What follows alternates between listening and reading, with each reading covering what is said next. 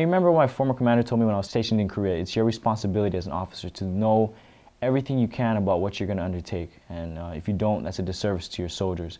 So as soon as I was told I was going to be deployed to Iraq, I started reading everything I can, um, trying to develop myself professionally. And so I, I read numerous articles um, by constitutional and international law experts um, saying basically that this war was unlawful by international and domestic standards. And also, uh, I read many reports that came out from government uh, agencies, non-governmental agencies, and a lot of the accounts coming out from independent journalists, um, from the Iraqi people themselves, and from the soldiers who were coming back home from the war.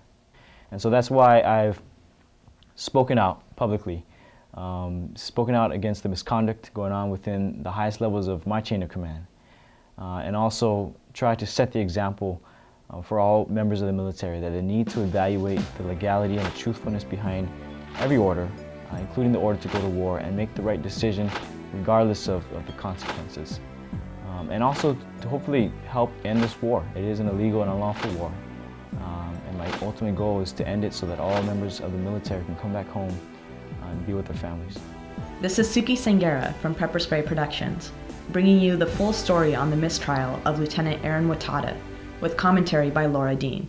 We have to realize that that laws aren't necessarily just and authority isn't necessarily um, isn't right. And so when that he, he's acting out of integrity and he's acting out of his consciousness. He's not just obeying orders because that's what you're supposed to do, but he's really thinking about the implications of his potential actions and then acting upon that because we're such a we're such a society of lead and follow, lead and follow, lead and follow, and so many of us are expected to follow all of the times, and sometimes we forget ourselves to think about what we're following and what we're doing. And I think that's it's a wake-up call for America. Stop following and start leading and start thinking about what you're doing and the implications of your actions. We had our reporters at the gates of Fort Lewis. Good morning. We're here with Indymedia Presents to bring you the latest updates on Lieutenant Watada court martial. I'm Randy Rowland for Pepper Spray Productions in the Seattle Independent Media Center. The crowds are starting to arrive at the gates of Fort Lewis. At the press conferences, Thank you all for coming. I hope you uh, enjoyed your introduction to military justice today. and inside the courtroom. This is Patricia Boyko for Indie Media here at the Lieutenant Watada Court Martial. We also obtained the sketches of the trial from courtroom artist Peter Millett. We are uniquely positioned to bring you this special pepper spray report on the court martial of Lieutenant Ehren Watada. Lieutenant Watada went into this trial facing four years in prison one charge for missing movement for his refusal to deploy to Iraq, and two charges for conduct unbecoming an officer for speeches he gave about his decision not to deploy to Iraq. Before the trial began, the prosecution dropped two years' worth of additional charges in exchange for Lieutenant Watada stipulating to the facts that he refused an order to deploy to Iraq and that he indeed gave the speeches. This morning was all about uh, procedures. All they did was go over the motions, and then they took a very long time to go over uh, the stipulation. The fact that Ehren uh, stipulated to uh, having said those things doesn't mean that they're they're a criminal, that there's a crime. The, the defense believes that uh, he had every right to say them, and that's really going to be one of the more contentious parts of the trial. On the first day of Lieutenant Watada's scheduled court martial trial, February 5, 2007, the judge systematically denied Watada's defense team the right to present a series of witnesses who would address the legality of the U.S. invasion and occupation of Iraq under international law. The judge was uh, denying uh, motion after motion. Every, almost every witness that the defense wanted to present was denied. Every motion uh, was denied.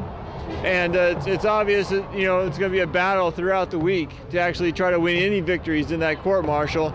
The defense was ready to bring in experts in international law, like Denis Halliday, former Assistant Secretary General of the United Nations, to testify against the legality of the Iraq War. After the judge refused to allow any of these witnesses, many of them went on to testify at the War Tribunal held in Tacoma, Washington. The judge denied every defense motion and even prohibited the defense from arguing that Lieutenant Watada's speeches were protected under the First Amendment of the U.S. Constitution.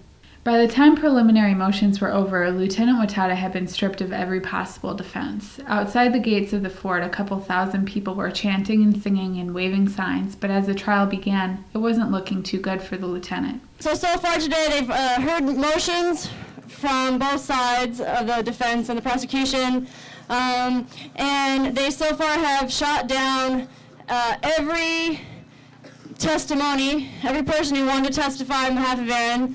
They've shot down every single one of them. The yeah. So you know, originally they tried to, to, to say you know international law and introduce that as a reason why the war is illegal. So that's out. They're not even going to consider international law. Mm. Right. So now they're narrowing the testimony to see if they could get any support for Ehren in the courtroom, basically. And so, like I said, he denied all of them except potentially one. Um, they're considering very narrow testimony from Dr. Solis, um, and the judge is going to decide that when they come back from lunch break, which is going to happen pretty quick here. I think we have a, a military judge who knows full well that his career is on the line. That uh, you know, if uh, the, there's lots of pressure that's been brought by the Bush administration on um, the military, military justice, military lawyers. Uh, you have the judge advocate generals of the four military services who back in 2001 2002 were slapped down by the bush administration for daring to suggest that the geneva convention should apply to the people uh, taken from afghanistan and other parts of the world uh, you have the military that was standing up saying habeas corpus ought to be uh, ought to apply to uh, the people that we've had in prison for five years, and it's the the Bush administration that's saying no, we we won't have it. So I have no doubts that there there is a lot of pressure on this this military court that the the Bush administration doesn't want a first lieutenant to be able to argue the the uh, legality of the war in Iraq. They don't want that argued at all. Of course, Lieutenant Watada knew the odds when he decided to take his stand. He was an Eagle Scout who volunteered for the Army after 9 11, determined to do his duty for his country. The jury, as is common in a court martial of an officer, was made up of a panel of seven Army officers, all of whom outranked Lieutenant Watada. Two were women. So the chances of uh, acquitting Watada are not very good. You know, they're, they're actually, it's not going to happen. Um, that's not to say that we we uh, we can't win, because you know Ehren is facing two years in prison simply for uh, public comments, public speech, and there's every reason to believe that uh, you know we actually should win on those charges. If there's any justice, even following the law. The judge was Lieutenant Colonel John Head. Representing Lieutenant Watada in his defense were his Army appointed military attorney, Captain Mark Kim, and his civilian attorney, Eric Seitz, who has been defending soldiers since the late 1960s. The Army prosecution, led by Captain Van Swearingen, assisted by Mark Brown, opened their case. As the first witness, the prosecution called Lieutenant Watada's immediate commander, Lieutenant Colonel Bruce Antonia, brought back from Iraq to testify. Lieutenant Colonel Antonia testified that Lieutenant Watada was a high caliber officer who had informed his superiors of his desire not to deploy to Iraq. He admitted that when Lieutenant Watada asked about the circumstances under which he could speak out against the war, the captain advised him that as long as his speeches were off base, out of uniform, and on his own time, which Lieutenant Watada's speeches were, he was free to speak his mind. The standard rule in the military between the duty of a soldier and the rights of a citizen is classically defined as off base, out of uniform, on your own time. That's the rules Lieutenant Watada's commander gave him, and Watada followed them. And when he spoke out publicly, he was acting under the impression that he was allowed to do that, among other reasons because of the fact that he'd been given instructions about when he could speak out, and he adhered to all those instructions. And secondly, that when he failed to get on the plane, he believed, whether rightly or wrongly, that he was entitled to refuse that order because the war is illegal. The prosecution's second witness was Lieutenant Colonel William James, the next step in the chain of command above Lieutenant Colonel Antonia. Lieutenant Colonel James testified that Lieutenant Watada had also spoken with him about his concerns regarding the U.S. war in Iraq, but that as a career soldier and a man who understood military ways, he had tried to talk Watada out of taking a moral or ethical stand. He recounted advice he gave to Lieutenant Watada don't make a young man's mistake, don't throw your life away.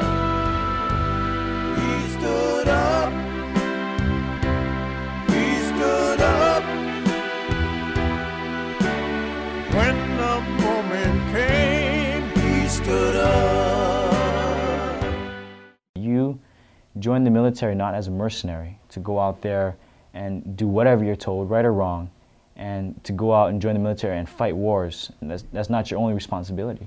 Your responsibility when you took that oath is to the Constitution and not to a person. And that is, your oath is to protect and defend the Constitution, meaning America's laws and our values and our principles, against all enemies, foreign and domestic, which means the founders of, this, of the Constitution and the creators of that oath knew that there would be people within our own country who were threatening our liberties and our freedoms. And it was the responsibility of all Americans, and especially those in the military, um, to evaluate the legality of every order, to find out the whole truth, and not necessarily, it, might be something that you don't want to believe, or that might be against what a whole bunch of your friends believe. Um, but that's your duty, and that's your oath, and that's why I think you join the military. Here is an older career soldier telling the younger man who decided that democracy and truth were worth fighting for not to let his morals get in the way of his career. I signed uh, my papers when I joined the Army in March of 2003, and if you, you can recall, that was the invasion of Iraq. And uh, during the run-up to it, I think, like many Americans out there, practically millions, we believed the administration when they said that Iraq had stockpiles. They guaranteed it practically on on nation, um, national television. You, in, Colin Powell guaranteed it to the world um, at the UN that Iraq had weapons of mass destruction. They had the will and the intent to use it against their neighbors and the American people, and that Saddam Hussein had very strong ties to Al Qaeda and he was responsible for 9 11. So I think, like many people out there, I believed what I heard numerous and numerous times. Um, since then, I've come to believe, I've been convinced that this, uh, what they were telling us at the time, these premises for invading Iraq were false, and that it was an intentional manipulation of intelligence um, around a policy that was already established prior to 9-11, prior to the, the invasion, uh, prior to any preparations for this war, uh, in order to get Congress and to authorize this war and, and to get the American people behind it.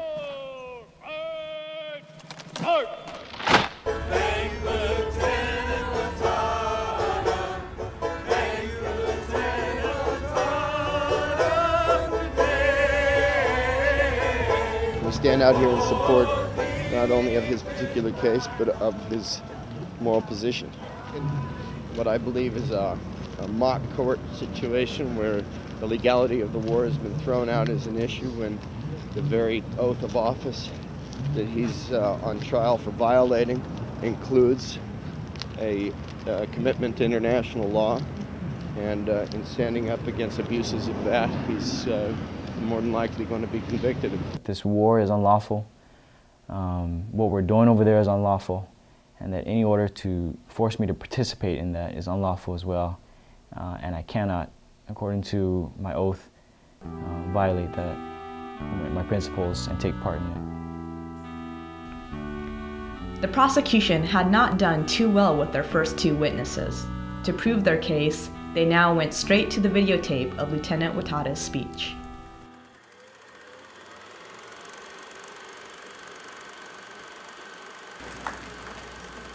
Guess you could say uh, I'm a little overwhelmed by all the support I've been given, especially here tonight.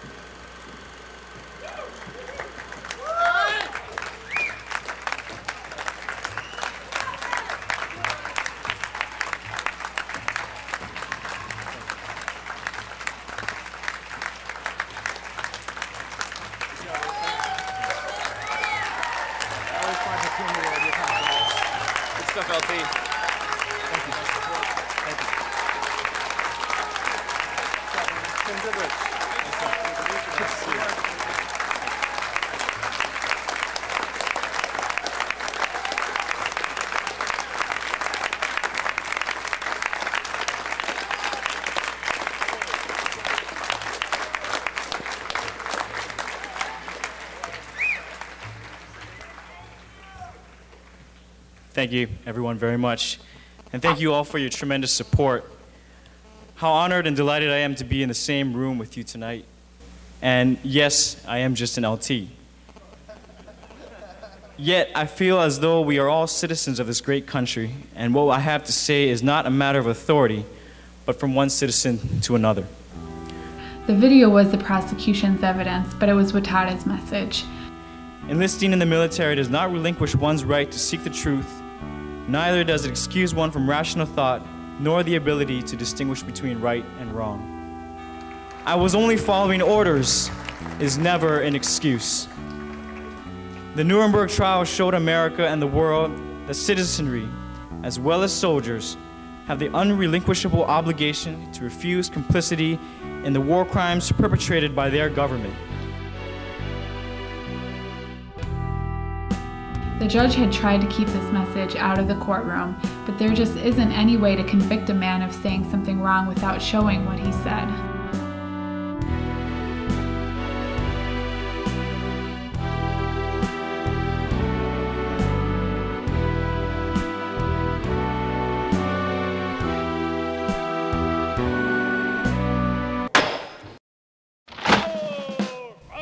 The prosecution called their next witness, Professor Richard Swain, who they had lined up earlier in the proceedings as an expert to serve as a rebuttal witness against the defense's professor of military ethics.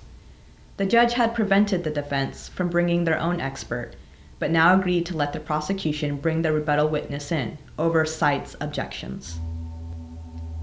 In Seitz' cross examination of Swain, he was able to bring up ethical questions about the core of Lieutenant Watada's stand and to make the point the defense had been trying to establish since before the trial began. It is a soldier's duty to disobey an illegal order. According to one reporter, bit by bit, defense counsel for the accused got the prosecution's witness to make Watada's case. And that was all the prosecution had, their last witness. It was not looking good for the Army. The prosecution rested their case. The judge adjourned until the following day. Defense attorney Eric Seitz, forbidden a defense and witnesses, closed with the enemy and engaged the prosecution on its own turf. Even corporate media outlets who were in attendance were describing the prosecution's case as shabby. The morning of the third day of Lieutenant Watada's court martial, February 7th, the defense was due to begin their case. But out of the blue, the judge raised the issue of the stipulation which he had spent several hours reviewing before admitting it into evidence on the first day of the trial. Not only did Lieutenant Watada not misunderstand, I signed it, I did not misunderstand it. My co-counsel, my military co-counsel signed it, and he didn't misunderstand it. General Dubik signed it, and he did not misunderstand it. It was very clear what we were signing and why we were signing it and why it was drafted the way it was. And I will tell you additionally, the judge looked at that draft and he went through it and offered suggestions for corrections before it was finalized and signed. Judge Head was suddenly concerned about Lieutenant Watada's rights. He said the stipulation wasn't a stipulation of facts, but rather was a confession of guilt. Lieutenant Watada's defense team disagreed, stood by the stipulation, and argued stridently that they had a right to present their case. Judge Head wanted the defense to move for a mistrial. Spectators in the courtroom say Eric Seitz turned his head just a little and grinned. The defense refused to ask for a mistrial and demanded to proceed. The prosecutor, Captain Van Swearingen, was sitting at his table with his face buried in his hands. The judge then demanded of the prosecutors Will the prosecution ask for a mistrial? The prosecutor, now standing behind his table, looked like he was about to cry. Captain Van Swearingen replied, No. He stated the prosecution wanted to proceed and also argued against calling a mistrial. Judge Head called a timeout. The prosecutor flinched and leaned forward like someone had hit him in the stomach. In the courtroom, the press and spectators were abuzz. What's going on? They whispered to each other. What's just happened? The talk of mistrial just didn't make any sense. When the judge called the court back into session, the prosecutor, standing at attention, good soldier that he is, obediently motioned for a mistrial. Judge Head declared a mistrial, and it was all over. Good afternoon.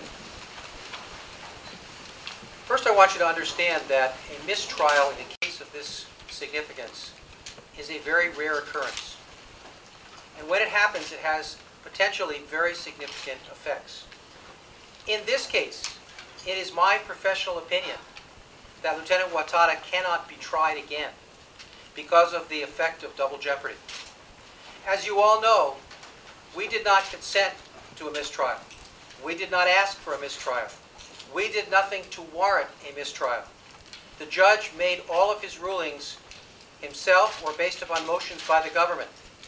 Once jeopardy has attached, and it clearly did attach in this case, when the jury panel was sworn in and when the first witness testified, the protection against double jeopardy applies as a constitutional matter. The doctrine of double jeopardy is drawn from the Constitution and is for the protection of the people. So that, as UW law professor John Junker noted, judges cannot just stop in the middle and say, I don't like the way it's going, and start over. Double jeopardy is never a strategy by a defense counsel. However, when things begin to go badly for the government in a case, it is always something that defense counsel have to be wary about that someone will cause a mistrial to occur and able to resurrect a case which isn't going too well. The prosecution threw their best shot at Watada, and based on their case alone, Lieutenant Colonel Judge Head was scared into pulling the plug on Lieutenant Watada's trial. We did nothing. We just basically entered into an agreement to stipulate to what the government drafted. And the, gov- the judge can say whatever he wants, but that's untrue. We are blameless in this situation. We have been entirely consistent throughout this. We entered into a stipulation which we signed, which was drafted by the government, and we stand by that stipulation and everything that it says in it. CourageToResist.org declared the Lieutenant Watada mistrial a resounding and clear victory. The government doesn't get endless tries at a defendant until their lawyers and witnesses get it right. They rested their case, and that's the only shot they should get at Lieutenant Watada. Just weeks after the mistrial, the Army refiled charges against Lieutenant Ehren Watada, scheduling a second court martial hearing to begin July 16th with pretrial motions set for May 20th. Eric Seitz plans to file motions by April seeking to have the charges dismissed due to double jeopardy. Should the defense lose on all motions to dismiss, and this case goes back to be tried all over again, we can only expect even bigger fireworks to come. This is Suki Sangera and Laura Dean for Pepper Spray Productions in the Seattle Independent Media Center.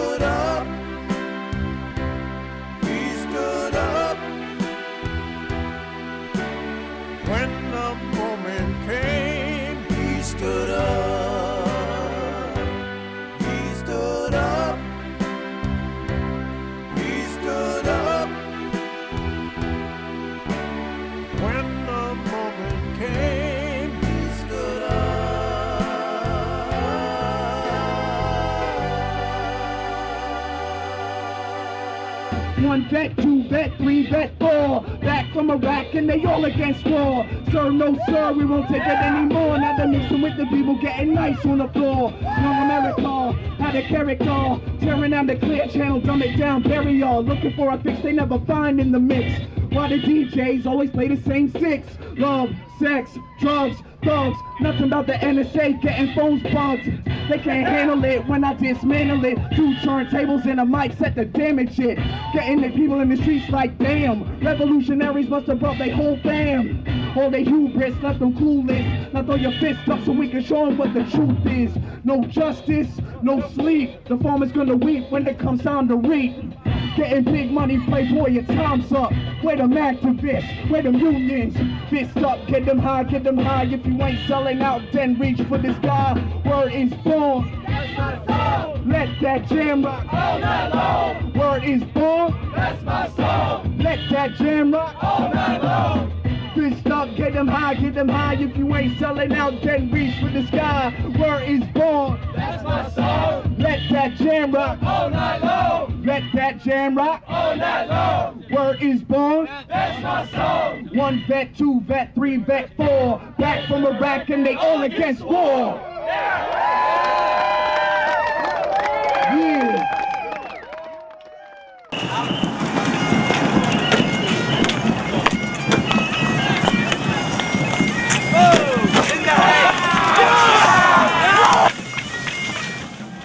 Corporate media is often criticized for only going after the spectacular shots and the superficial stories and not bothering with the issues raised by demonstrators.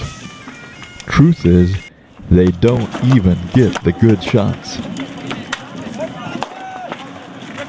stones with crowbars and even their bare hands, broke them, and threw the chunks at the lines of riot police. Get the fuck out of here.